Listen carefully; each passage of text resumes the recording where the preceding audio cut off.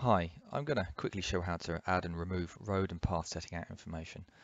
So the way to add a, stand, a setting out table is to uh, click this button, select which road you want to add it to, fill out the information, click OK, and position the table where you need it. That's, this table is automatically updated, so if I move this road in any way, it updates with it. So if you need to then edit that table or remove it, you can go back to the toolbar and either hit the properties and re-specify the information or hit the delete button and select the table and it goes away and there we go.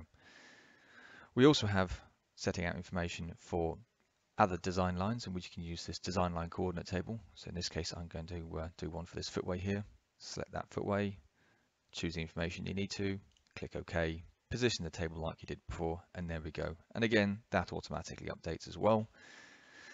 If you need to remove this one, go back into the design line coordinate table, specify it, and set it to zero in the interval, and it'll go away.